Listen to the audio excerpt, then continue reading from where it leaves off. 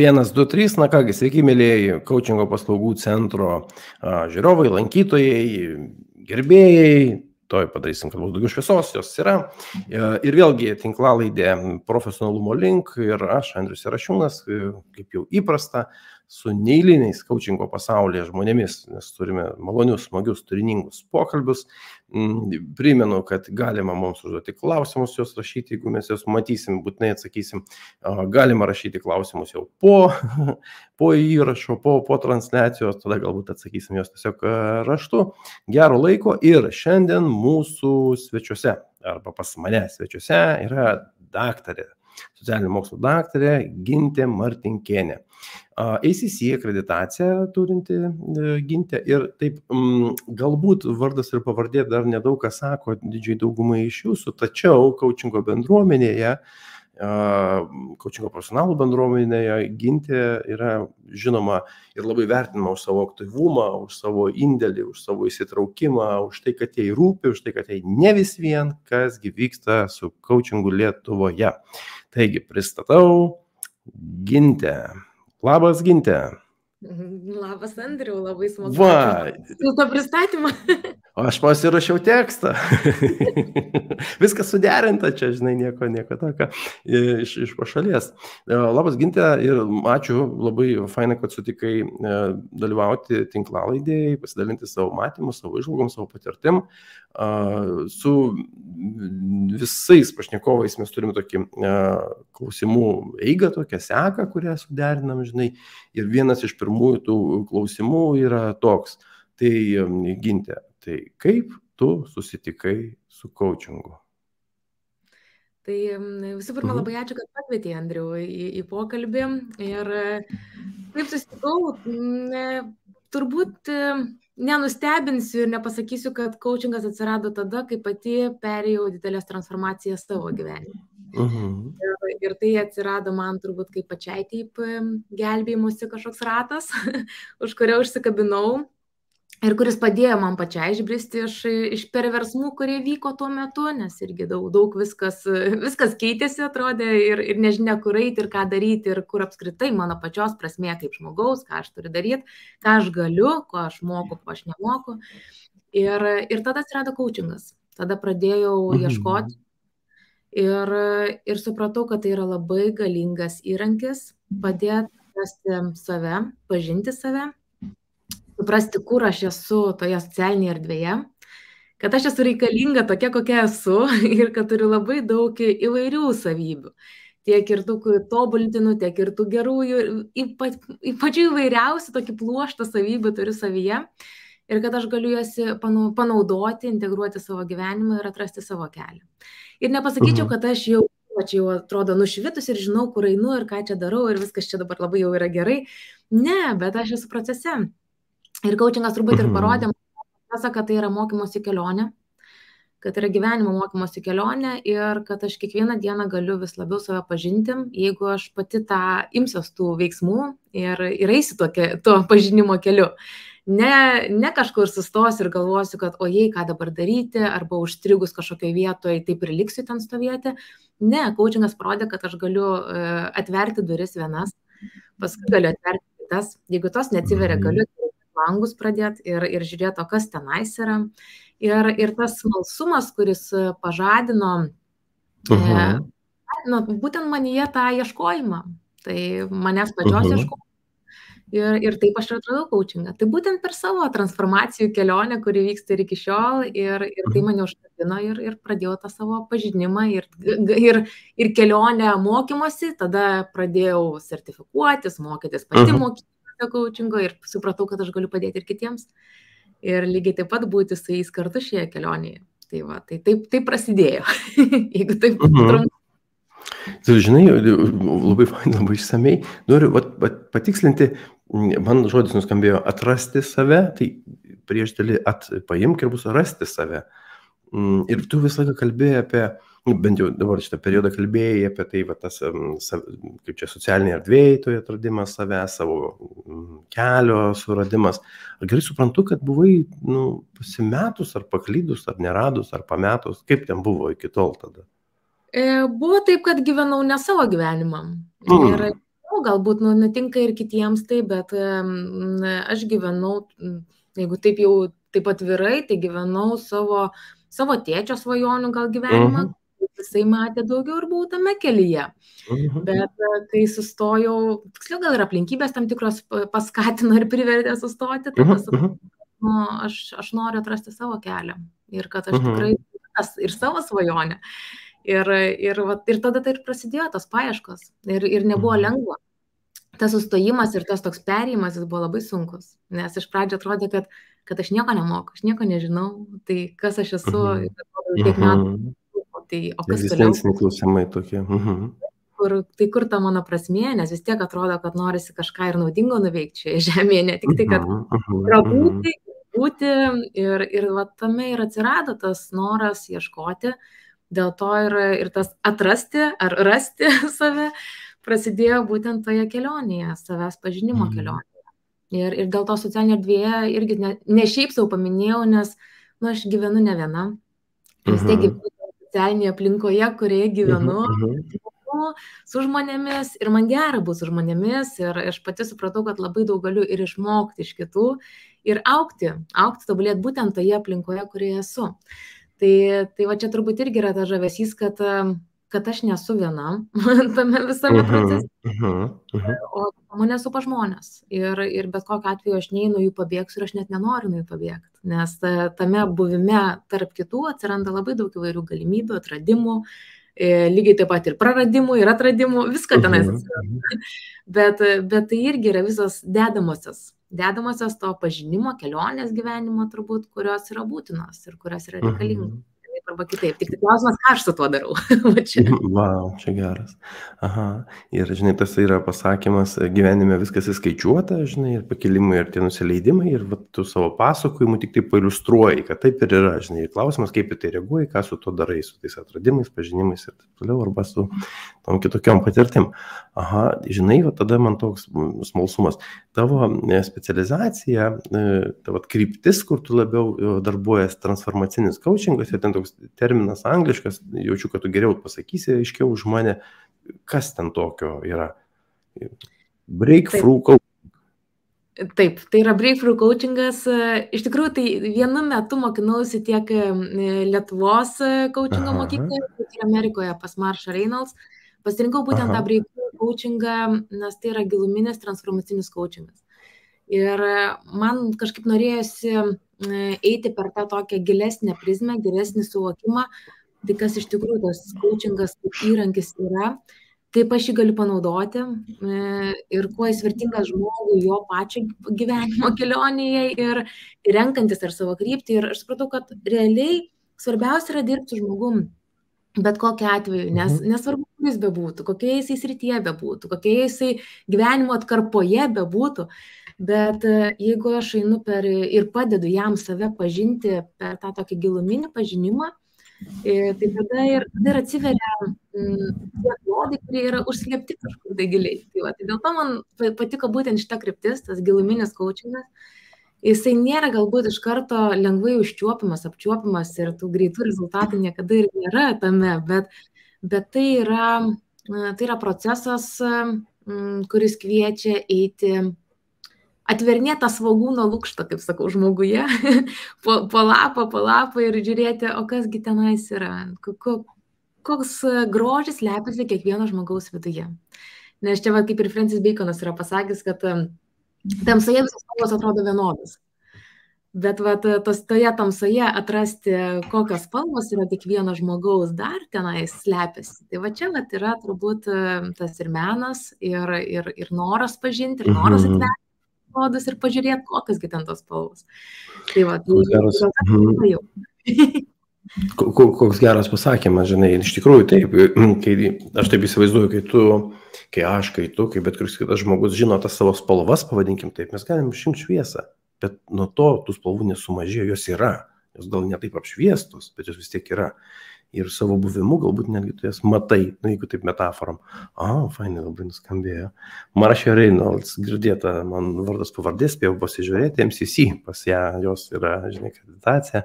A, ok, tai tada mm, transformacinis coachingas ir tai toks klausimas, žinai, Vienas iš tų klausimų, kuris man atrodo yra labai svarbus coachingė, tai kad coachingo specialistas, žmogus, kuris baigia coachingą, nu jis į save išpozicionuotų, rastų, tai kaip jis dirba, ką jis daro, kokia kryptim, kad ne visus visų gyvenimo klausimais, žinai, galiu pakaučinti, o laikytųsi tokios krypties. Na, kaip gydytojai savo specializaciją turi, psichologai, psichoterapeutai turi savo specializaciją.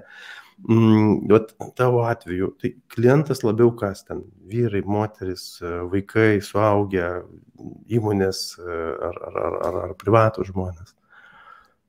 Iš tikrųjų, tai daugiausiai mano tų klientų tai yra vadovai, Aha. lyderiai, su kuriais dirbu, bet, bet aš e, esu atvira įvairiems klientams. Tai nėra, kad aš mhm. sakau, aš nepriimsiu, nedirbsiu, ne. Dar, pas mane dar nebuvo net ir tokio turbūt atvejo, kad aš pasakyčiau, kad ne, mano duris uždarytos ir aš ne, nepriimsiu, nes kažkoks mhm. netoks klausimas ar, ar dar kažkas tame man ne, nepatinka. Aš kažkaip priimu žmogų, kiekvieną, kuris kreipiasi mane, priimu su smalsumu ir su atvirumu. Nes netgi labai dažnai būna, kai ateina su tam tikrų klausimų, kuris sako, va, nu man va toks klausimas rūpi. Kalbėjoje, va, išaiškėjo, kad visai ne tas buvo ir visai ne to reikia. Ir pats žmogus užsideda savo kažkokią tam būna etiketę, kad man va šitas, šito man reikia ir aš va tik tai šiame būsiu. Viskas tvarkoj, bet mes kaip tik nu, sudarnėjom kontraktą, žiūrim gerai, viskas, viskas su tuo yra gerai, bet paskui žmogui ateina momentai, kur sako, o geras, ne, aš kažkaip tai va, visai netaip įsivaizdavau ir net ne tą, net savyje e, pamačiau, ką, ką atėjau iš pradžių norėdamas pamatyti. Tai, Tai va, tai kažkaip irgi tie atradimai žmoguje yra, yra nežinomi, sakyčiau. Ir man va tas ir yra turbūt didžiausias atradimas e, naudojant coachingą kaip įrankį, nes bet kokia atveju tai yra kaip mhm. įrankį.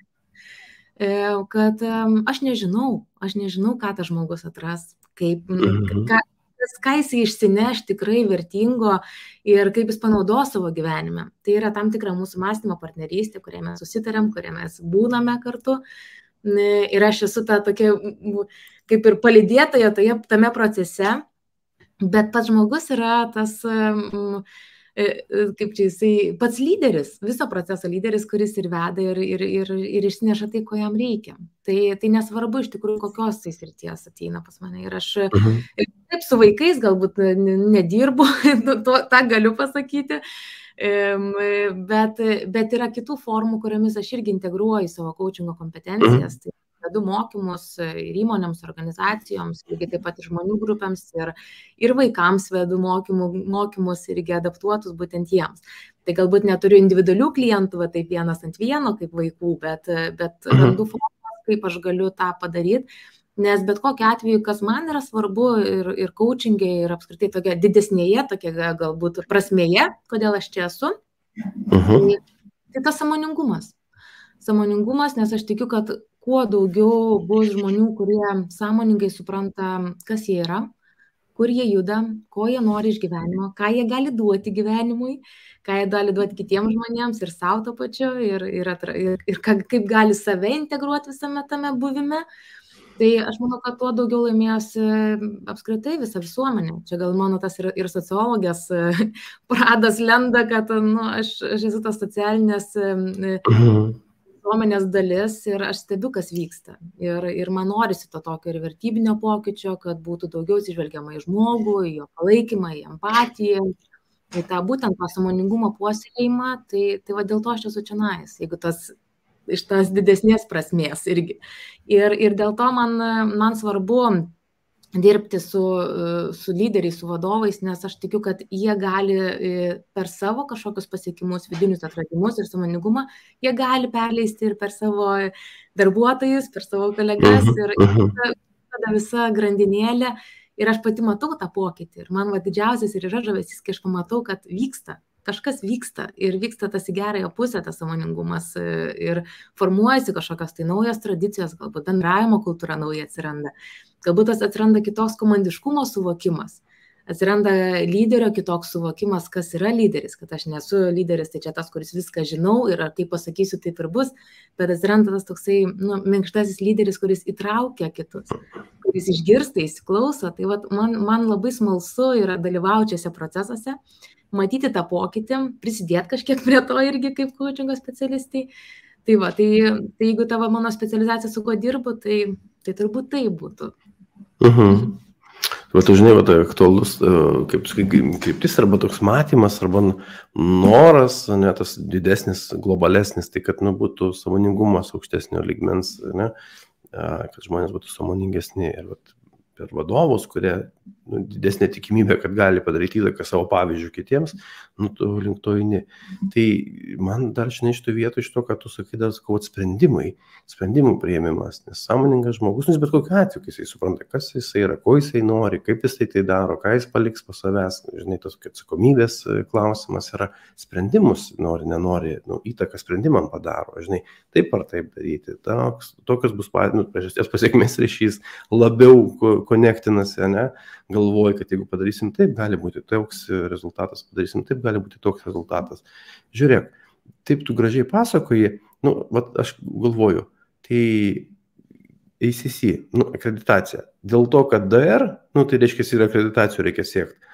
Ar, nu, kaip ta Nes galėjai būti tiesiog DR ir sėkmingai darbuotis, nu, kam tos akreditacijos. Na, jeigu taip juoko formai, tai man reikėjo įsirėminti vardą ir pavardę, tai va įsirėminau DR ir, ir ACC. tai turiu jau tos rėmus.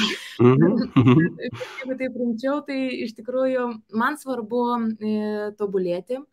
Man mhm. svarbu, kad e, ir mane pripažintų, kad aš atitinku tuos reikalavimus. Tai, nes bet kokiu atveju akreditacija tai rodo, kad e, mane kažkas vertino, kažkas irgi pažiūrėjo, ar mano kompetencijos yra tokios, kurios, kuriamis aš galiu vadovauti savo veikloje, savo darbe ir, ir man tai yra svarbu. Lygiai taip pat ir tos D raidelis irgi atsirado. Dėl to, kad irgi, nu, aš galėjau tiesiog studijuoti doktorantūrą, bet ir nebaigti jos. Mhm. Bet kitas momentas, nu, aš pabaigiau tam, kad, kad aš ir norėjau pabaigti tą ir norėjau parodyti, kad nu, aš galiu būti ir, ir socialinių mokslų daktarė ir man svarbu, kad aš esu tame procese, man svarbu domėtis e, socialiniais procesais, kurie vyksta visuomenėje ir ne šiaip savo, o tiesiog irgi eiti, eiti per tą visą kelionę ir, ir nėra lengva tos keturis metus e, mokytis, pabaigti viską iki galo, parašyti disertaciją, bet tai irgi rodo, nu, kad e, aš einu nuo pradžios iki pabaigos ir tą mhm, kelionę mhm. pasirinkau. Taip pat ir su ACC pas mane buvo, kad aš mhm. Kad aš noriu eiti rimtų kelių, ne šiaip, kad va, aš kažkur kažką išgirdau, pabaigiau ir kad esu coachingo specialistė, mhm. bet kad mane ir akredituoja ir, ir aš tą pripažįstu, aš vadovaujuosi etikos kodeksu, dalyvauju mhm. mhm. nuomonės veikloje, kartu tobulėju, dalyvauju renginiuose, prisidedu prie jų organizavimo, Mhm. Ir, ir yra įdomu, nes bet kokia atveju bendruomeniai augant galima pasiekti žymiai daugiau kaip specialistai. Mhm. Nu, fainai. Ir tu žinai, vat, man bent jau taip atrodo, kad e, tas mm, įsipareigojimas tiek savo, tiek profesijai, tai kartu jisai tokį nu, atsakomybę uždeda e, tau pačiam, man, tau, žinai, kad e, man ne vis vien kaip aš dirbu. Tai aš nu, taip naiviai tikiuosi, kad visi tie, kurie save skaito bet kokios ryties profesionalais, mm, jie vat, užduoda savo tokią užduotį, ne, kad man ne vis vien kaip aš dirbu. Tokio varianto, kad, ai, sueis. Jo vis mažiau ir mažiau. Man toks, žinai, kaip čia, profaniškumas yra tu vietoje, nu kaip, nu, kaip improvizacija. Ai, suimprovizuosim. Ne, ne, ne, žmonės mokosi improvizacijos.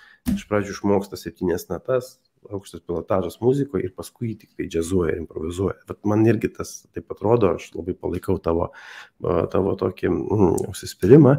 Ir žinai, iš čia kitas klausimas. Aš buvau sužavėtas tuo, kad tu mm, taip FUKT ir vienos iš didžiausių pasaulio coachingo specialistų asociacijos nu, padalinio Lietuvoje valdybos narė. Galėjai irgi būti savo eilinis narys, nesukti savo galvos į valdybą. Tai man dar labiau atrodo, kad tau ne vis vien nu, situacija coachingo Lietuvoje. Kas čia per motyvas? Ar čia irgi pripažinimas, ar čia kažkas kito? Aš čiūriu, kad tokį laikau, paskui pasakysiu, ar hipotezė mano buvo tokia pati ar ne. Iš tikrųjų labai daug ką gyvenime irgi, ką darau, tai darau ir iš idėjas, ir iš, to, iš tos meilės tam, ką darau. Ir, Aha ir coachingas yra, yra tuo pačiu ir ta aistra mano ir, ir man tikrai ne vis vien, kaip coachingas auga e, ir formuojasi Lietuvoje. Tai, mhm. tai nėra senas kažkoks labai įsišaknyjas mokslas, kaip sakyčiau, ar, ar kažkokia tai kryptis. Ir dėl to man yra svarbu, kad jinai, jinai tos pamatus dėtų kuo tvirčiau. Dėl to aš nuėjau irgi į ICF Lietuvo valdybą, nes noriu prisidėti prie to. Taip, tai nėra daug, tai yra pora metų mano buvimo bus šiame, šiame procese, bet, bet per tos du metus aš noriu prisidėti to, ko aš galiu. Tai ir, ir prie to žinomumo didinimo, ir prie, to, ir prie vardo stiprinimo, nes tai yra svarbu man, kad būtų, tai yra bendruomenė mhm. atveju. Ir kaip vienas ir kunigas yra pasakęs, kad nori eiti e, greitai, eik vienas. Jeigu nori eiti toli, eik su bendruomenė. Tai aš tikiu, kad mhm. jeigu coachingo specialistai norime eiti toli, mhm. Mhm. turime eiti kartu bendruomenė ir kiekvienas turime įdėti savo indėlį į jos stiprinimą, į jos ūkdymą. Tai dabar aš pabūsiu, paskui ateis vėl nauja valdyba, jinai kažką toliau tęs ar darys kitaip, bet, bet mes kiekvienas prisidėdamas prie jos vardo e, stiprinimo, prie bendruomenės stiprinimo, prie naujų žmonių prikvietimo mes galim sukurti gražią, gražią erdvę coachingui, būtent tam, kaip, kaip, mhm. kaip būdui formuotis, aukti, stiprėti ir, ir, ir tuo labiau, kai yra ICF Global apskritai siūlo labai daug galimybių tam. Tai man kaip ICF Lietuva narė irgi norisi kažką e, atnešti ir iš to ICF Global ir kad tai būtų ne kažkas tai atskiro, kad viskas būtų vientisa, gražu ir sujungta ir, tie, ir, ir kad kuo daugiau žinotumėm, kas kur vyksta iš tikrųjų. Tai, tai mano misija yra tokia, kiek pavyks tą padaryti. Čia laikas parodės turbūt, bet, e, bet turiu tikslų, norų mhm. ir tame esu dėl to. Ir va, žinai, aš pasakysiu, mano, kokia buvo mano hipotezė, pasibraukiau du kartus, tai bus raktinis žodis globus bendruomenė ir tu taip kalbi kitus dalykus, hm, galvo, nepataikiau ir paskui vis tiek prieėjai prie bendruomenės, žinai, ir, ir ten skiri tam daug dėmesio. Aš, žinai, galvoju irgi, kad būdamas vienas, ne, laukia, iššūkių daug yra labai. Turi eiti, kalbėti su žmonėm, pasakoti istoriją, kad tu čia toks, anoks, nu, toks, žinai, vieno žmogaus darbas didelis. Jis gali daug padaryti, tikrai, bet kuris iš mūsų galim daug padaryti, bet kur kas lengviau ir paprasčiau yra, kai tai yra bendruomenė. Tai viena opcija, kita opcija. O iš kur aš žinau, kaip aš augu? Tam tikrą prasme aš pasimatuoju būtent bendruomeniai, kur susirenka tokie patys kaip aš smalsūs, žingeidus, pasimokantis, specializuojantis, žinai, specialistai, keičiamės patirtim, kaip tu dirbi, kaip tu dirbi, ką tu darai, kur ten keliauji, kur mokaiesi ir taip toliau. Tai mm, netgi sakyčiau, čia mano tokia hipotezė vėlgi yra, kad bendruomenė stiprina tavo identitetą profesinį. Nu, jeigu tai profesinė bendruomenė, tai profesinis identitetas. Jis, jinai bet kokia atveju daro įtaką. Jeigu tu nesi bendruomenės narys, profesinis bendruomenės narys, savo, pats savo, tai tu pats savo gražus. Nu, mes tokių tikrai galėtume rasti tokių, žinai, atvejų skirtingų, skirtingų kategorijų, bet kai kalba apie profesiją ir ypatingai apie tokias pagalbos kitiems profesijas, ne, mano akim žiūrint, priklausimas bendruomeniai, tai ir hygiena tam tikra yra, žinai, kad, nu, tu vis pasižiūri, ar tu dar rogės esi, žinai, ar nevėluoji. Naujienos yra, kaip tu sakai, ir plus nu, tas stiprinimas, stiprinimas to profesinio identiteto, žinai. Nes klientų, pavyzdžiui, būna visokių. Ir vad ką tau daryti tuo atveju, jeigu ten nu, sudėtingi klausimai ateina, sudėtingi atvejai kažkokie.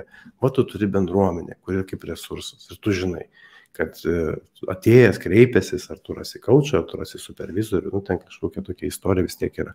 Nu, man labai fainai skamba, tikrai gintė, matau, kad a, net, net galvoju, kad e, tie, kurie pažiūrės mūsų pokalbį ir dar, žinai, iki šiol gal galvoja, čia būtų kokios nors ten bendruomenės kaučerių narių ar ne, tai tikrai pasvarstys arba bent jau paieškos, žinai, tokios informacijos. Tai man atrodo, kad m, didžiulis darbas to vietoj. Gerai.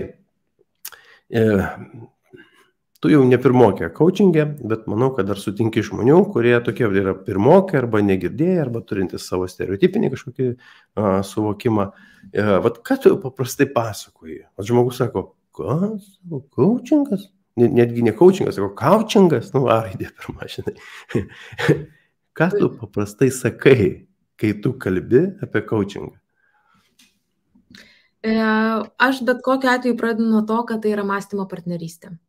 Ir kad mes einam kartu į tą mąstymo partnerystę su, su klientu, kaip jį įvardinsi klientu, bet mes esame vis tiek mąstymo partnerystėje ir, ir aš nepadarysiu kažkokio tai darbo, nepakeisiu gyvenimo, va taip, va bam, ir, ir viskas pasikeičia ir kažkas įvyksta, įvyksta stebuklas. Ne, bet tai mąstymo partnerystėje atsiveria keliai pažinti save. Ir, ir vat, kokie tie keliai, aš irgi nežinau nes kiekvieną atvejį yra skirtingai. Dėl to e, tik tai mano tas buvimas, jisai padeda galbūt mm, kryptingai tą daryti kažko, kaž, kažkiek tai, ar, ar daugiau, vat, irgi yra tam tikra vis tiek sistema, struktūra tam tikra, kurioje mes būname, bet joje yra labai daug ir to tokio dinamikos, sakyčiau, procesų, kurie kurie pasisuka taip, kaip jie, kaip jie turi pasisukti konkretaus žmogaus atveju. Tai va, tai dėl to aš, jeigu taip trumpai, aš laik sakau, kad tai yra mąstymo partnerystė. Mhm. Kiek mes leidžiamės tą mąstymo kelionę, tai tiek leidžiamės. Bet, bet ką, ką daryti su tuo, va, su tuo mąstymu jau užjudinus, tai toliau jau yra jau pačio žmogaus pasirinkimas, ką jis to darys. Gali nieko nedaryti, bet tada rezultato mhm. nebus. Tai na, na taip, taip. Čia irgi apie samoningumą eina kalba. Nu, žmogus sąmoningai renkasi, žinai, opcijas ir tada sako, jo, arba darysiu, arba sako, ne, matau, kad ne šiandien. Žinai, kodėlgi ne. Tai irgi yra pasirinkimas, irgi tam tikras lygmuo, ne, savęs ir uh, savo situacijos suvokimas. Gerai. E, galbūt praleidau, žinai, nes tu sakai, kad coachingas tavo aistra. O aistra coachingė kokia? Tas e, proveržis, tas, žinai, naujos gairės, atradimai, transformacijos, nu, kas tavo aistra coachingė? Kur ten labiausiai, kas generuoja daugiausiai energijos, gal taip? Turbūt aistra mano, kai aš pamatau ugnelę kito žmogaus akise, kad jis kažką atrado ir kad jisai kažką panaudos. Ir aš turiu tą mhm. vidinį tikėjimą, kad tikrai kažkas įvyks to žmogaus gyvenime. Tai vat man čia turbūt aistra, va tas pokytis, tas toks e, subtilus pokytis, kurį aš pamatau ar pajaučiu, kad nu, jisai įvyks, įvyko pa žmogų, jau kažkokie tai procesai prasidėjo ir kur, kur nujudės, nežinia. Bet man dar, e, tai čia vienas momentas, o kitas momentas man dar yra labai svarbus, kai pas mane grįžta klientai mhm. po kažkokio laiko ir jie man pasako, kad, nu, va, tada buvo labai dėlė vertė, jie nori ir dabar kažko, kažką vėl toliau eiti, atrasti, kur jau dabar galbūt kitam lygmenį ar kažkokiam e, kitu, kitose aspektuose, bet, bet vat, man yra tie du turbūt momentai yra svarbiausi. Kad, ir aš tada suprantu, kad, kad ne veltui darau tai, ką darau. Šitą kelią pasirinkau ne šiaip savo, kad tai yra tikrai mm, mano ir, ir man patinka matyti tą, tą ugnelę. Jausti, matyti. Uh, tai nėra vien tik tai, kad, vat, nu, tai, tai net ne žodžiais išsakoma, kad vat, mhm, žmogus mhm. pasakytų, ne, tai yra toksai, kaip pajauti, kad, va, kad žmogus tikrai kažką atrado giliai savyje ir gali panaudoti. O gerai, žinai, mes gyvenam tobulai, netobulam pasaulyje ir aš taip manau, kad ne kiekvieną kartą būna va, tokios išvalgos, žinai, nu, būna ir sunkių tokių momentų, ne? Tai va tavo patirtyje, ne, iššūkiai kokie didžiausi. O su kokiais... Uh -huh didžiausi iššūkiai turbūt, su kuriais nuo pat pradžių, kai prasidėjo mano kelionė su coachingu, tai mhm. neprisimti atsakomybės savo. Mhm. Nes, aš atsakinga esu už tai, kiek mano yra kompetencijų ribos. Bet aš nesu atsakinga už, už savo klientų veiksmus, ar ką jie darys, nedarys, tai jau yra jų pasirinkimai ir ir vat neprisiimt sau tos tokios naštos ar atsakomybės, kad aš turiu, ne, nu, aš, aš, net, aš neprivalau, aš padarau tik tai tai, ką aš galiu padaryti ir viskas, ir, ir paleisti. Tai va, tai turbūt va čia turbūt iššūkis didžiausias. Ir kitas dalykas, kuris irgi buvo iš gal iš pat pradžių, gal irgi toks iššūkis, tai atrodo, o tai kaip čia, kaip čia dabar nuo ko čia pradėti, kaip čia su to žmogum, kaip čia jį pažintis, naujas, va, aš jo nežinau, ką man čia su juo daryti. Tai paruošti save, buvo išmokti paruošti save. Mhm. Tai va, mhm. irgi tikrai didelis iššūkis, kam, kas man turbūt labai padėjo, tai padėjo man būtent Breakthrough coachingo mokymai pas Maršą Reynolds, kai, kai, man, kai ten buvo labai aiškiai dirbama ir buvo pasakyta, kad sujungti galvą, širdį ir žarnynam į vieną visumą. Tai, mhm. tai ir atsiverti ir, ir pačiai būti savyje vienoje šyje. Tai, tai va, nežinau, tai nėra lengva išsakyti žodžiais, ką tai reiškia, tai turbūt irgi mhm. per tam patirtį ateina jau tas pajautimas, ką reiškia pajausti save pilnai ir ateiti, ir ateiti į sesiją susijungus su savim, be jokių kažkokių ten tokių trigerių, netrigerių, kurie vidai galėtų būti. Tai, va, tai, tai tai irgi yra ateina su, su patirtim, nu, tai va tai irgi buvo iššūkis tam, tam išmokti, kaip save paruošti, nes tai, tai irgi viena iš dalių, kuria, su kuria dirba coachingo specialistai tam, kad būtų, būtų profesionalų savo, savo darbę, nes natūralu, mes esam žmonės lygiai taip pat, gyvenam su savom, savomis turbūt irgi problemomis, situacijomis, niuansais, bet ateiti sesiją kaip visiškai be jokių savo kažkokių tai peripetijų ir asmeninių mhm, mhm. išgyvenimų, tai irgi yra tam tikras iššūkis, kurį reikia Uh mhm, -huh su kuriuo reikia išmokti dirbti ir, ir, ir, ir gyventi su tuo. tai, va. tai turbūt buvo tokie didžiausi mano galbūt iššūkiai. Net nežinau. Uh -huh. Daugiau. Žinai, va, tai, uh mhm. -huh. Daugiau net ir nežinau dabar tokie okay. net. Mhm, okay. Žinai, tai, kad tu kalbi, man, taip, nu, bent jau aš įdėčiau į tokią lentynėlę, vis tiek vadinasi profesi, profesinis identitetas, nu, tapimo kaučių procesas, Nes išmokti technikas yra viena, tai elgesi demonstruoti, ten turėti strategiją tai kita, o jau tas identitetas toksai, tas va, etikos kodeksas, žaidimo taisyklių laikymasis, ne, ir tai susigyvenimas su tuo, tai jau čia to profesinio identiteto toks aiškesnis aspektas. Tas pats yra su klientu, tai nei vienas iš mūsų negimėm kaučiais, nei vienas iš mūsų negimėm klientais. Klientas praeina pagal mane tą patį procesą. Jis ateina pirmą kartą tokio mokymo puokas, žinai, galvoja, kas čia bus ar tu čia paskaitė, arba girdėjo, kad čia duos daug klausimų, žinai, manęs paklausinės ten ir taip toliau, ir taip toliau. Mm, tai irgi tapimas klientų, coachingo, nu, bet kokios srities, bet kokios paslaugos klientų, tai irgi yra procesas, žmogus mokosi. Nes, nu, taip įsivaizduoju, kažką atideda, kažką, kažkur, žinai, kažką lengviau gyvendina, kažkokius tai ten atpažįsta savo vidinį sabotažą, žinai, kažkokį pasipriešinimą, žinai, resursus atranda, pažindinasi su savim, kaip su vardas pavardė, tas kliaustelėse klientas, žinai, tai irgi statusas tam tikras ID. Uh, ginti. Ar lengva, specialiai užduotas klausimas, bet atsakyk į ne taip ir ne, o plačiau. Ar lengva būti kaučių Lietuvoje? um, Aš gal apribojau tave, gal pas tave pasaulinė rinka, žinai, bet aš apie Lietuvą. žinai, kaip čia pasakius. E, ir taip, ir ne turbūt. Čia turbūt uh nėra mhm. tokio vienareikšmio atsakymo, kad ar lengva ar sunku. Taip, Lietuva galbūt pakankamai maža rinka, jeigu, jeigu taip žiūrint. Uh -huh, jeigu per rinką. -huh. okay. Per rinką žiūrint. Bet žiūrint, kokius reikalavimus aš savo keliu, kaip coachingo specialistė. Mhm. Ir, mm, ir kitas momentas, mm, galbūt nėra lengva iš tos pusės, kad aš savo reikalavimus labai dėlis irgi keliu. Tobulėjimo, augimo ir, ir kompetencijų tobulinimo. Tai va, iš tos pusės galbūt nėra lengva, nes visą laiką irgi E, turiu tą savo irgi tokį vidinį kritiką, perfekcionistą, kad vis norisi vis geriau, tobuliau ir, ir lygiai taip pat tą dirbu. Ir, ir tai yra normalu, tai turbūt gal, gal iš tos pusės nėra lengva, nes vis atrodo, kad, nu, tai gal čia dar kažkas, tai gal dar kažko nepakankama, gal dar kažko trūksta. Tai iš tos pusės nėra lengva, bet iš kitos pusės, e, jeigu tai yra tikrai mano kelias, tai tai yra tiesiog jis organiškai įsilieja į mano gyvenimo mhm, kelią. Uh -huh. Ir, ir aš žinau, kad tai yra mano kelias, man tai, man tai patinka, man patinka bendrauti su žmonėm, dalintis, būti su jais kartu šioje jų kelionėje pažinimo. Ir, ir dėl to tai nėra sunkus tas kelias, tai yra, tai yra smalsus kelias, aš taip sakyčiau, bet jis nėra tikrai, kad būtų sunku, sudėtinga, varginanti, kad aš, lab, aš, aš kaip tik dažnai labai posesijų, aš jas per jas pasikraunu.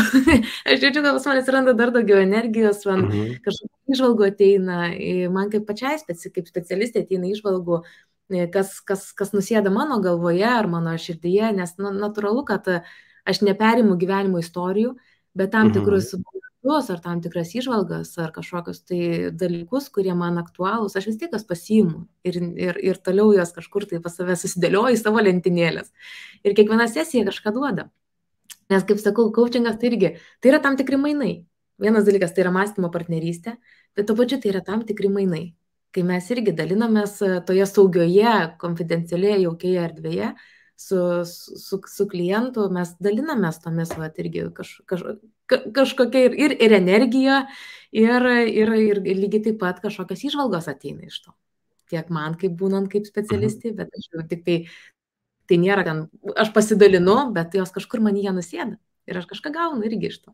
Kitaip aš turbūt nesirinkčiau iš tą kelią, jeigu jisai man nebūtų, nebūtų mhm. man vertingas irgi. Tai va, tai, tai sakyčiau ir taip, ir ne, nes yra tos kelios medalio pusės. Per tą, kad aš savo dėlius reikalavimus keliu, taip, tai aš tą, tą turiu. Bet aš lygiai taip pat žinau, kad, kad, kad aš galiu, kad aš esu e, geriausia, kokia galiu būti dabar, bet aš galiu būti ir geresnė versija rytoj. Tai dėl to ir einu tą kitoje kelionėje ir, ir vis ieškau būdų, kur man dar įdomu, kur aš dar noriu kažkur patobulinti save, atrasti kažką naujo. Tai, va, tai galbūt tas, tas ieškojimas vis tų tobulėjimo galimybių jis turi, turi savų iššūkių, bet to pačiu turi ir savo, savo žavesio. Tu žinai, viens, du, trys. Ai, va, yra, matau, kad vaizdas garsas. Tu mane girdi, matai?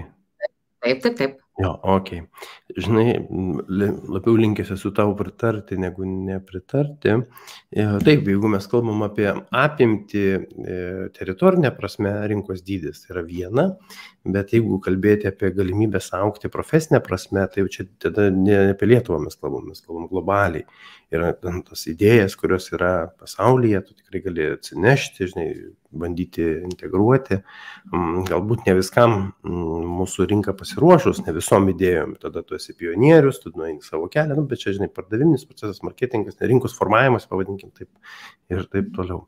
Tai ja, viso šito istorijoje aš tavęs taip klausiau ir galvoju, kad, vadžinai, man tokia metafora, mm, tokie, va, rytų kovos menai atėjo iš tolimųjų rytų. Ir ten, jeigu taip jis jau meistras, tai jisai nėra, kad turi tą meistrų juodą diržą, ten kažkokį tai daną ir viskas. Ir jisai, žinai, tenais a, nesportuoja daugiau. Ne, ta rutina, jis žino, jis puikiai demonstruoja ten gal judesius, kažkokius veiksmus, ten smūgius, metimus, dar kažką tai. Ir jis kiekvieną dieną, nu, galbūt ten kas antrą dieną, bet jis tai daro. Tai yra jo m, dalis a, rutinos tos, e, tas žodis rutina, jis gal suprantamas pas mus taip labai įdomiai. Man asmeniškai yra disciplina, mano santykis su tuo dalyku, ką aš pasirinkęs. Jeigu tai yra mano profesija, tai aš negaliu neskirtai profesiniai, profesiniam tobulėjimui, žinai, dėmesio. Ir tai apie ką tu kalbi, man atrodo, kad e, tas, kuris coachingą įsileidžia į savo gyvenimą ir tas coachingas integruojasi, kaip tu sakai, ne, taip organiškai susilieja, tai žmogui ne tik, kad įtampos nekyla, jam net ir energija generuojasi, žinai, jis atranda kažką, supranta, pastebi savyje, žinai, kažkokius tai pokyčius. Ten, ir taip, nu, fainas, toks labai tokia, nu, klausau tavęs ir man tu tokia tikra coachingo ambasadorė, žinai, tai coachingas kaip prekinės ženklas, tai aš va, sulyginčiau, žinai, kad coachingas ir, ir gintė, tai tokia coachingo ambasadorė. Gerai, uh, nu, paskutinė minutė, gal pusantros, va, e, toks, nu, kaip palinkėjimas, gal, žinai, gal kaip toks, mm, lūkestis arba tiesiog e, atsisveikinimas, žinai, nu, kažkas pažiūrės iki galo mūsų pokalbį, ar ne? O tam žmogui, kuris pažiūrėjo iki galo, ką tu norėtum pasakyti, žinai, ką tu jam palinkėt norėtum, žinai, iš, iš tavo, tavo ir coachingo santykio, arba tiesiog kas, kas tavo ant širdies. Aš turbūt pasakyčiau taip, kad mm, coachingas man parodė, kad gyvenime yra labai daug pasirinkimų. Ir, ir tik nuo manęs priklauso, kokius pasirinkimus aš darysiu ar nedarysiu, kiek aš eisiu savęs pažinimo keliu, savo aplinkos, kurioje gyvenu irgi pažinimo keliu ir kiek aš norėsiu tą pažinti, kiek aš norėsiu priimti. Nes galiu pasirinkti būti tam tunelinė mąstymė, tokiam, kad vat, einu ir man nieko nereikia, vat, ir, ir, ir, ir tame irgi viskas yra tvarkoj.